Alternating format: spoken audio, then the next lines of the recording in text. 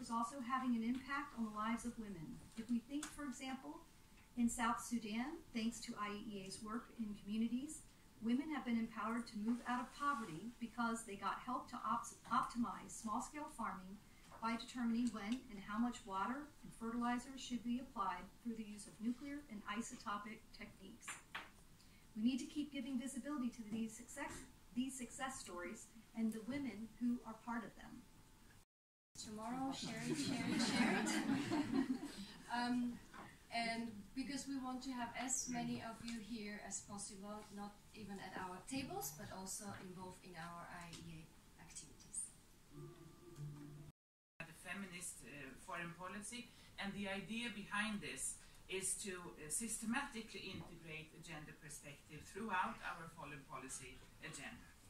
And while much progress has been made over the course of the past decades, women remain unrepresented at the IAEA and other international organizations, while at the same time uh, we are falling victim to stereotypical norms which impedes progress towards greater gender equality.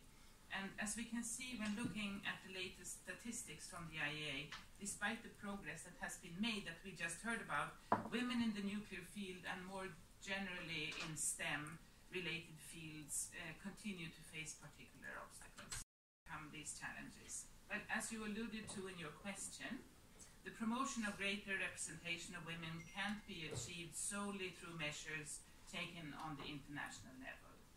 While this is of course important, it's of equal importance that we simultaneously work on the domestic level with a view to enable an environment which will allow and also entice girls and young women to enter into the nuclear field. Sweden, my country, has come a long way in fostering an environment which encourages girls and young women to pursue careers in the STEM-related field. there is much to be said regarding the many factors which contribute to why women might or might not pursue a career in STEM, but today I would want to focus on the importance of having role models. Recent studies have highlighted the positive impact of female role models on girls and young women, with these beneficial effects best summarized by the concept of seeing is believing. Seeing people who look like you out there doing the things you want to do or even doing the things you never thought about doing makes a difference. And it showcases that it's possible for you too. And it provides assurances that you also belong in this field. Exposing girls and young women to visible role models that are working, teaching, and making discoveries in STEM can therefore play a vital role in breaking down those invisible barriers which otherwise might keep them from pursuing their dreams. So the seeing is believing concept of female role models also influences the way men and boys view women in STEM. It's sometimes hard for men to imagine women excelling in these fields, especially in leadership positions, if they don't see any examples. And this is part of what we call the perception problem, where the perception often is that science and research are principally a male pursuit. And an attitude like that can often be traced right back to the experiences in the classroom, where male science teachers have often been the norm. So having successful and visible women in STEM, and especially in the field of education, is crucial for overcoming these types of stereotypes regarding the respective roles of women and men also in the nuclear field. I spoke to a professor at the Royal Technological Institute in Stockholm uh, a while back, and she said that the lack of role models had prevented her for a long while to apply for a professor post, until someone, a man, actually encourage her to go for it. And she now takes it as a very serious part of her job to be that role model for other women in her institution. Moreover, not having female role models can easily turn into a vicious circle where there are not enough women in prominent positions to inspire the next generation of girls and young women to pursue a career in STEM. And this perpetuates the negative spiral, and we must all work hard to disrupt this pattern, which to a certain extent continues to this day. And this brings me to your question, what is the new frontier for Sweden, the next frontier for Sweden? While we have come a long way, as you also highlighted in your question, we still face challenges when it comes to the private sector. Sweden currently ranks among the better countries in the EU, which is rather depressive since when you learn that only 35% of board members of companies listed on the Swedish Stock Exchange are women. So promoting greater gender equality on the board of corporations is not only all that different from how we must work with international organizations. And I once again want to point towards the importance of role models. Because with better representation, be it in STEM, in international organizations, or on the board of different corporations, it will encourage girls and young women to expand and achieve their career goals. So I think that role models is really the key message here from me today. And then if I should move on to your second question, just briefly. Yes. Um, I've had the opportunity to serve as the Perm Rep of Sweden to many international organizations uh, and institutions throughout my career, from the OECD and UNESCO in Paris, uh, to the OPCW and the international courts in The Hague, and now here uh, to the international organizations in Vienna. And it's always been my goal to bring gender issues to the forefront. I started working with gender issues in 1995, uh, just after the Beijing conference. So I've been along in this in this field for, for a very long time. And promoting a culture of gender equality, diversity, and inclusion is not just a matter of principle for me. It's also been proving to lead to better results for all the parties involved. So from a purely practical perspective, it would be in all our shared interest to redouble our efforts in, in this regard.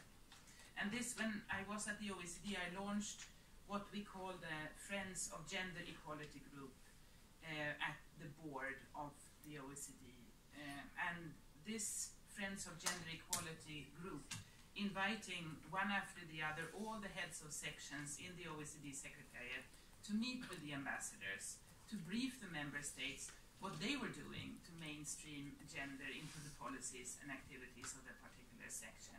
And initially, there was a little bit of hesitant, hesitance among the, the heads of the sections, but when they were encouraged by the whole board to really try to start thinking more about how to mainstream a gender perspective, they all were standing in line to come to the board and, and to speak to us. So that was a really very nice example and experience. And another example is when I was at the ICC, the International Criminal Court, and chaired the working group on gender justice uh, within uh, the member states. And this gender justice group aimed to integrate the gender perspective in all the work of the court through awareness raising, through training and advocacy. And of course, when you are at the court and you are hearing cases that includes uh, sexual and gender-based violence, and many difficult questions, it's really, really important to have that gender perspective and the gender lens uh, mainstream and integrated. So my experience working on gender issues have taught me that gender equality goes way beyond counting just the number of women in the room. And while this could sometimes be a useful and easily, easily accessible tool to, to look at how is the women participation, it's clear to me that we must also pay due attention to less visible but equally important factors such as stereotypical gender norms and, and work culture. And in doing so, we are sometimes faced with uncomfortable questions that need to be asked, such as why are there almost often, uh, often almost only women in the audience at gender-related events? And just take a look uh, uh, around you in this room. We have an overwhelming majority of women and a few gender sensitive men. Kudos to you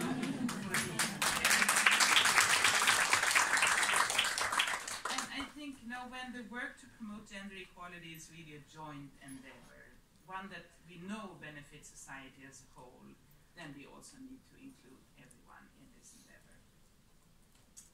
So asking and approaching fundamental questions like why you know, are we mostly women in here when this is the topic?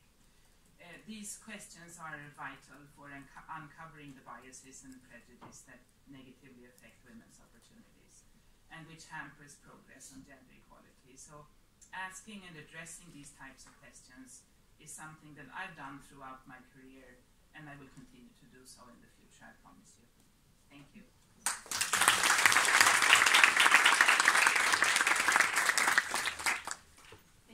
Much, uh, Your Excellency, and indeed uh, to our tables, but we're working on it and we're highlighting that diversity is the work of everyone and without everyone at the table, we will not achieve um, good policies and have and be effective and efficient to all the challenges that we are facing now and, and in the future.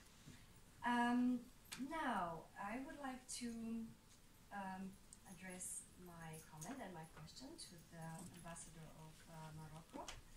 Uh, Morocco Minister of Energy and Mines uh, and of Environment inaugurated Morocco's first national training center in nuclear science and technology as an extension of the national center. The new center aims to equip Morocco's nuclear scientists with the necessary skills to be qualified to safely and sustainably use of nuclear techniques. It is also seen to strengthen regional capacities in Africa in the field of nuclear science and related technologies within the framework of international and regional cooperation programs. My question to you, Your Excellencies, Excellency, is how has Morocco ensured that women are included in the nuclear sector, and what national policies and good practices has Morocco developed and implemented to enhance gender equality in nuclear sector. The floor is yours. First of all, I would like uh, to thank you, to thank the organizer of this important side event to shed light on our collective action. I mean, men and women are toward equal representation of women from origin in the nuclear field. As far as Morocco is concerned, I would like to highlight two points to answer your question. First one, Morocco and gender equality.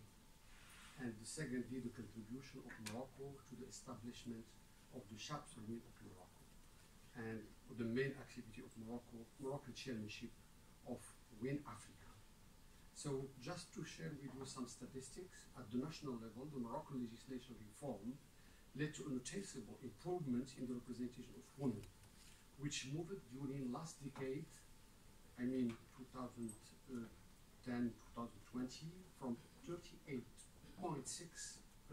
to 42% and from 10, 38% to 18, 52% at the level of senior position.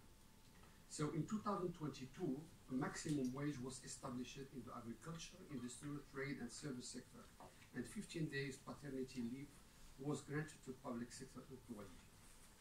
So the government aimed to achieve more than 30% activity rate for women by the year 20, 2026 and promote equitable access to decent work for women. So the Governmental Council has approved last June a decree establishing the National Commission for Gender Equality and the Empowerment of Women.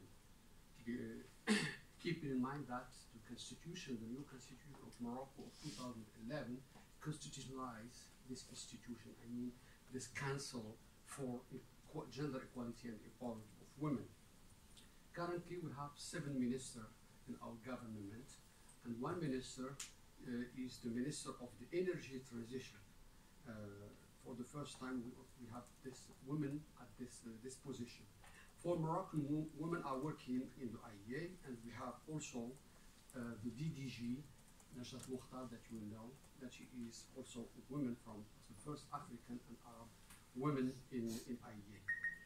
For our regulatory body, just some information, AMSSNuR reaffirms its commitment to gender equality.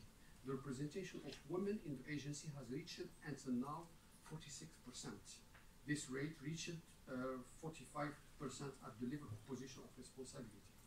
At the, at the level of nuclear, to answer to directly to your question, I mean nuclear scientific research, national institution and university, female represent currently more than 50%, while in CNESTEN, the main national nuclear institution, 30% of the staff are female. Uh, at the university, female in nuclear are more than 20% of the professor in nuclear practice, nuclear medicine, radiotherapy, and medical physics.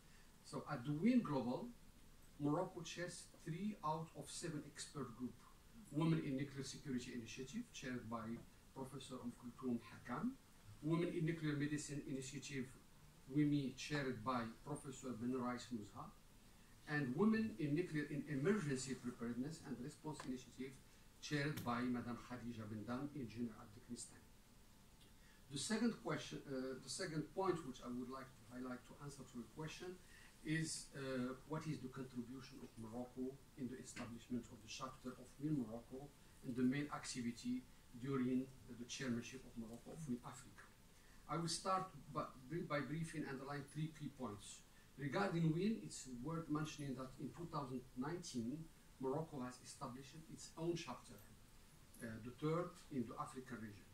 Since its establishment, WIN Morocco organized and participate in many national, regional, and international events.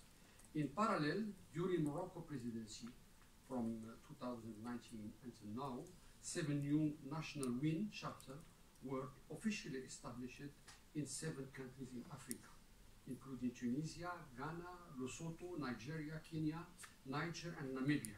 And new chapters are about to be launched in the near future. Well, under the Moroccan presidency, WIN Africa set up three committees, just for your information, strategic planning and program committee, communication committee, and finance committee. Many events were uh, organized during, I mean, from since our, our chairmanship, just for contribution of, women in science and also in governance in the nuclear field.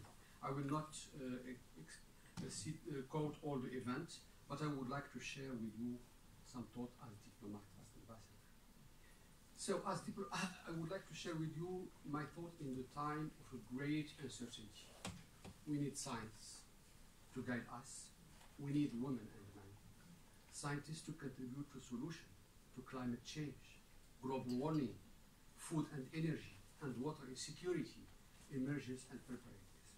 Young women and girls in developing countries, particularly in Africa, should be encouraged to enroll in science and give future perspective, for example, jobs and family care. The IAEA Marie Curie Fellowship Program is a great example of opportunity given to women from developing countries.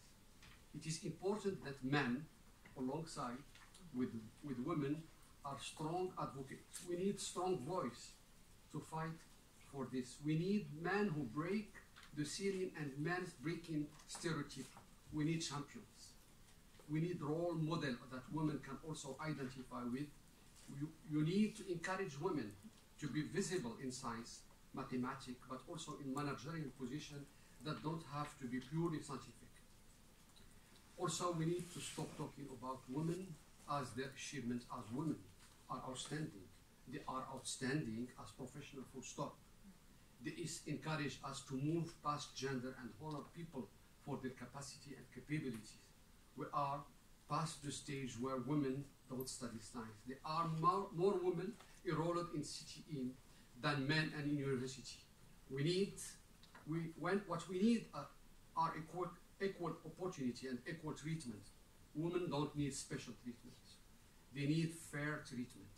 So, but, so nobody can say that they got where they, they are because they are women. They got because they are capable. I would like to end my thoughts by saying that Africa needs more attention.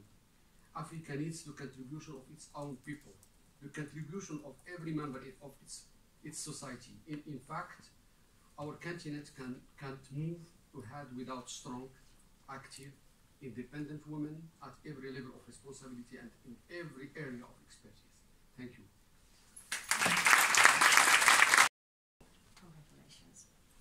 As we know, um, an, essential uh, an essential component for increasing the representation of women in the nuclear sector is ensuring that young girls stay in the science, technology, engineering, and mathematics classes.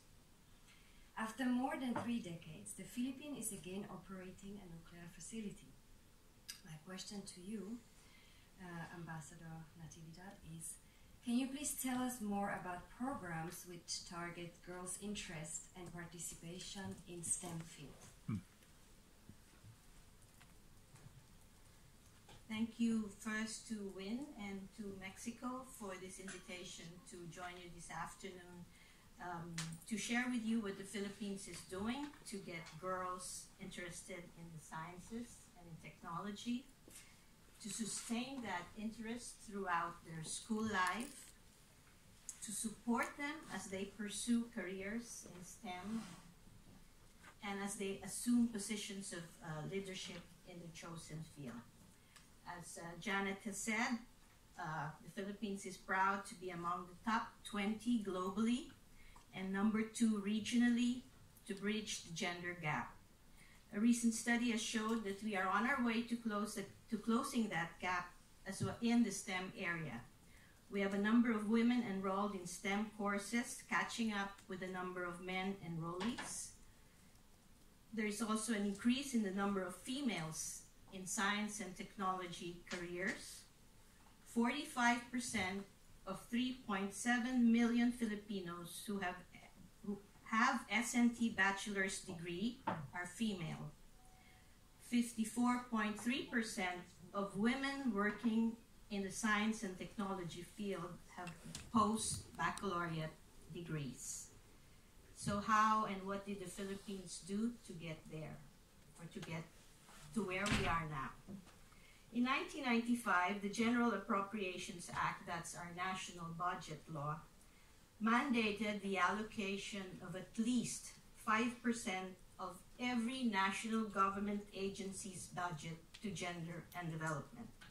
So every government agency in the Philippines has what we call a GAD program, Gender and Development Program.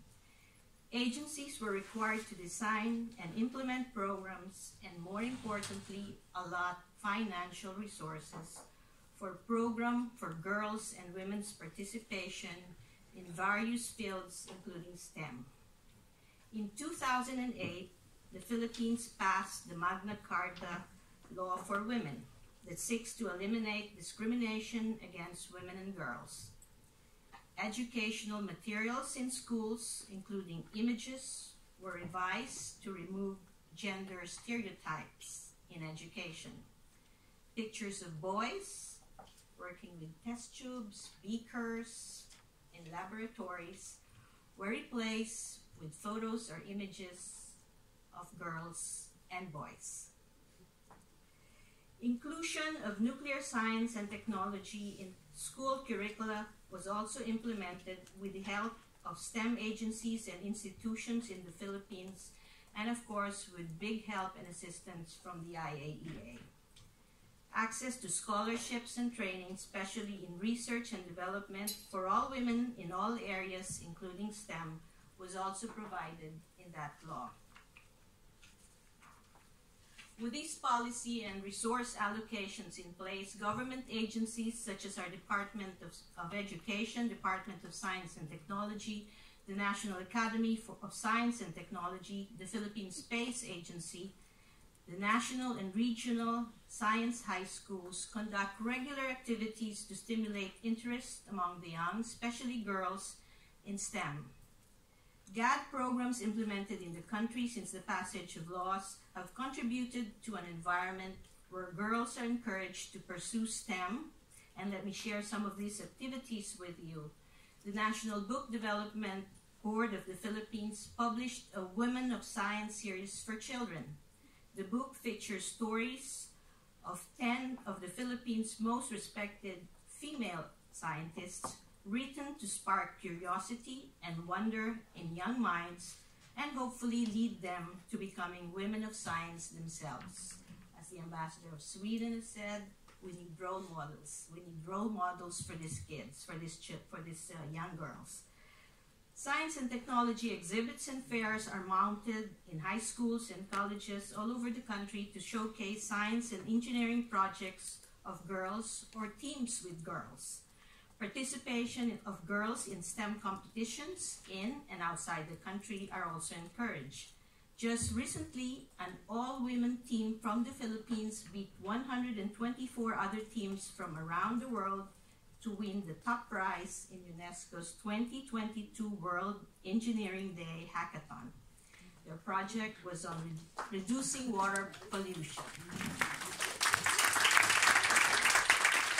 The other thing that we are encouraging both in the schools and in our homes now young girls are encouraging and inspiring other girls to pursue STEM careers. A 16-year-old girl from the British School in Manila had um, implemented during the pandemic a Girls for STEM website.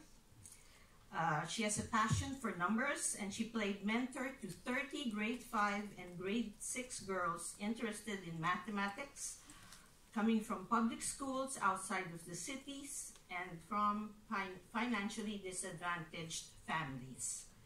Another one started, this is uh, after her, her uh, university degree, a nonprofit organization called WeTech, Women in Technology, that aims to educate and inspire the youth in breaking gender stereotypes and change the world through the power of technology.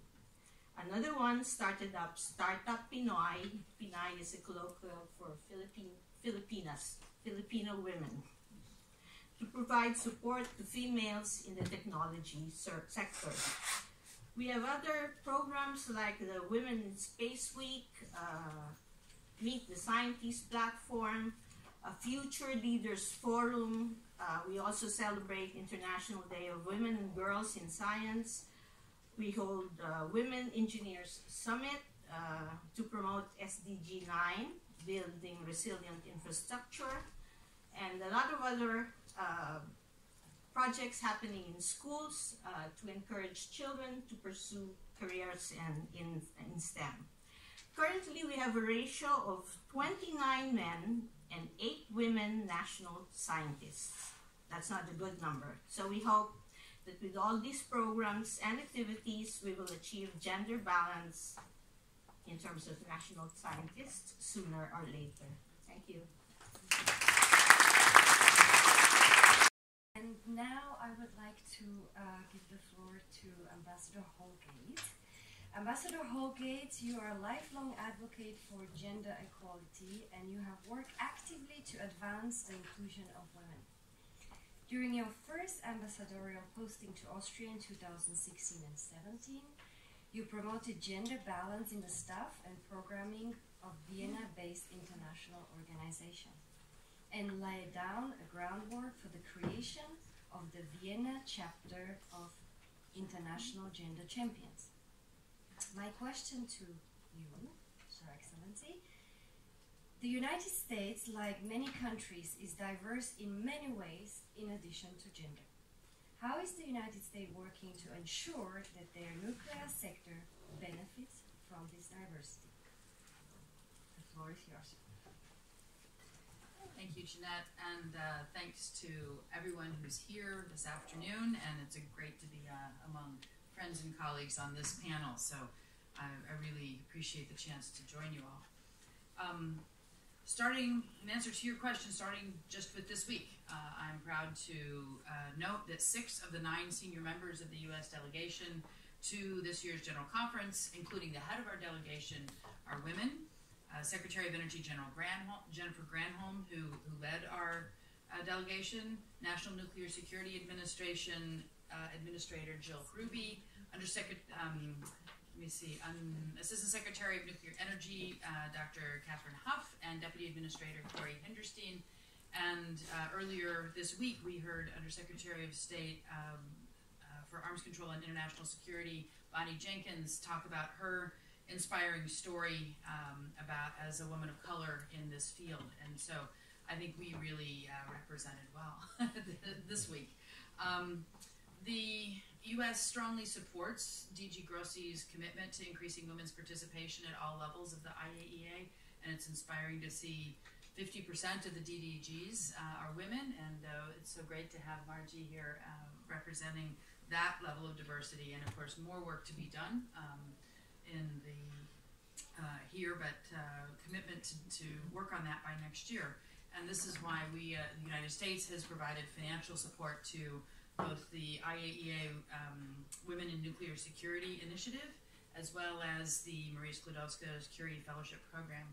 And I can say that um, I, one of my uh, former interns uh, uh, earned one of those fellowships and had a, the Marie Sklodowska Curie Fellowship, and I really had a a great report from her about how much it inspired her and the launch that it gave her in her career in the STEM area. The, uh, looking at the parts of the U.S. government that work on nuclear issues, the National Nuclear Security Administration is one of those uh, key elements within the Energy Department. And there are three of the four senior members of that department are women, some of whom I just mentioned. Uh, this is obviously not typical in the highly uh, technical and traditionally male dominated field, but it uh, could become commonplace if we continue to promote women in STEM and recruit and retain diverse workforces.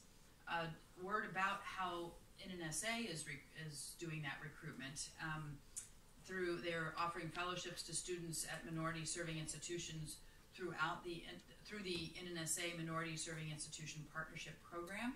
Uh, so reaching out to historically um, um, black colleges in uh, the United States, and also an internship program. Um, they've also fund fellowships in national security, nonproliferation, and STEM disciplines, and each of the national laboratories and plants and sites associated with the Department of Energy have similar outreach programs that seek talented individuals uh, from diverse backgrounds.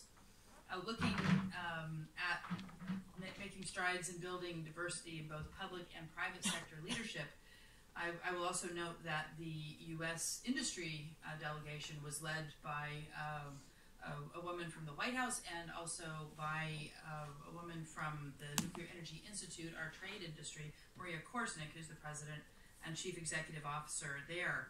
And she draws on her strong um, on, on her strong engineering background and her hands-on experience in nuclear reactor operations, deep knowledge of nuclear energy policy and regulatory issues to increase understanding of the economic and environmental benefits of nuclear energy among policymakers and the public.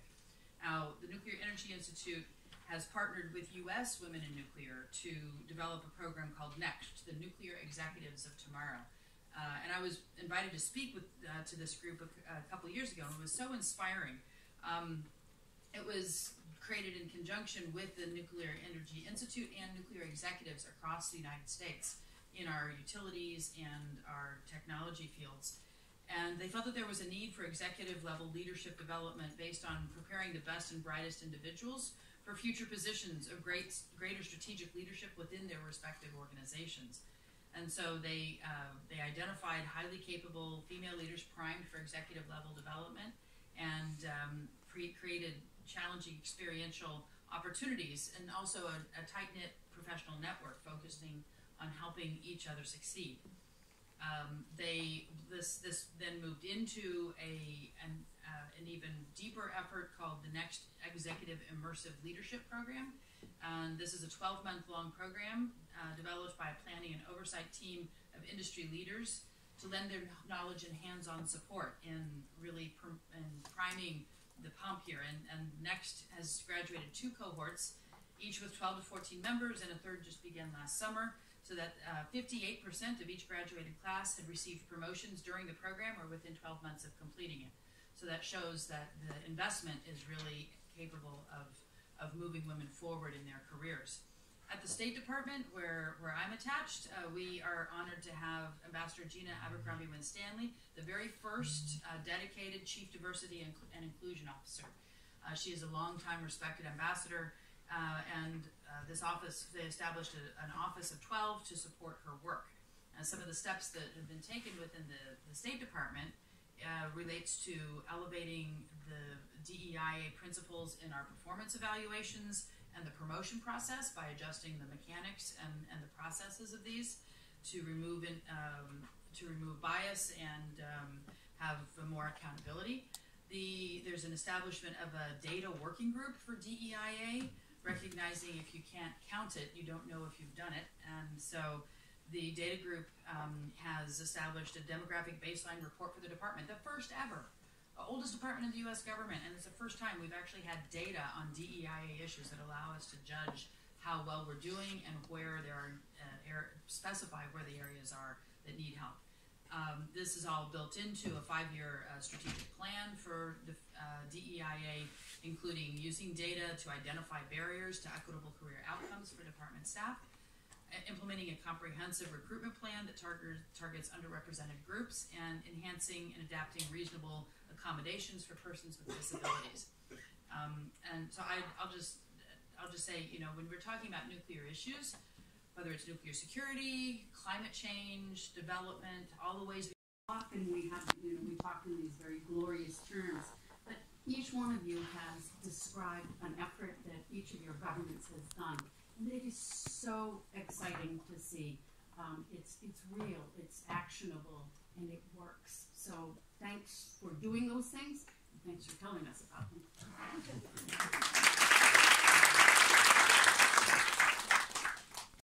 event is focused on uh, all regions. I also would like to highlight that the IAEA has provided a, a lot of support uh, to create the WIN chapters in Africa and in Latin America and the Caribbean. And they are, of course, key components of our network. And in this regard, I would also like to share with you a very concrete action uh, we have just launched this uh, week. This is a guide uh, that we developed in collaboration with ARCAL Agreement in Latin America and the Caribbean, and also WIN Latin America and the Caribbean chapter, and with the great support of the IAEA. This is the publication, which is in, in Spanish and also in English available.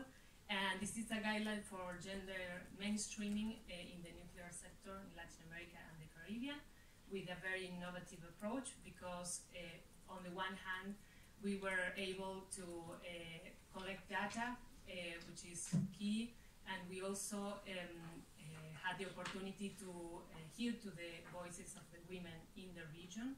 they were not considered in this study as objects of study or categories. Uh, they were part of the process. And secondly, I wanted to highlight that uh, it was very innovative because we developed recommendations for the national nuclear institutions so that they can um, really work on more equitable and um, inclusive workplaces. Uh, and uh, the idea is that we uh, can make the best, the most, sorry, uh, in order to um, to collaborate with the chapters and implement these recommendations. And my last uh, comment is that, of course, we cannot replicate this guide uh, in all regions exactly the same, but this is a first reference document that, of course, can be adapted to each region. So thank you very much.